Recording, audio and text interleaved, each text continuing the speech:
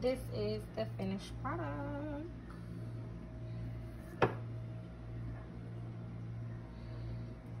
See-through apples.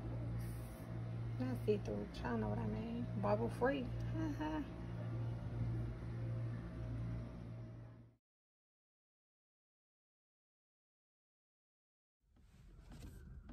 Hey y'all. I decided to vlog today.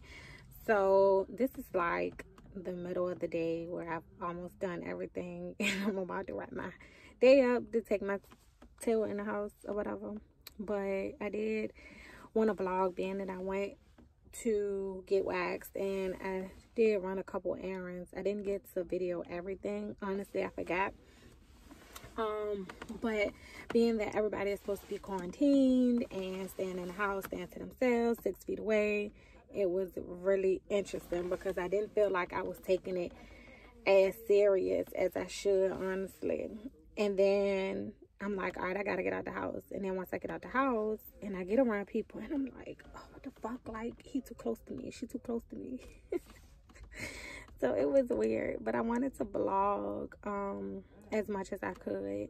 Now I am sitting getting my headlights cleaned. So if you hear people in the background, it's just the guys cleaning the headlights on a car. And I'm just sitting here bored. So what a better time. Also, my hair had been in like a messy bun for probably about two weeks. I just decided to straighten it yesterday. And now I'm like getting back to having my blowout on my hair, whatever, out, I guess. I don't know. But either way, don't forget to subscribe, like, and comment. I do talk back. Don't be scared to talk to me, y'all. I do talk back. These eyebrows got to get done. I can't wait till this shit is over. Anyhow, thanks for watching. And again, don't forget to subscribe.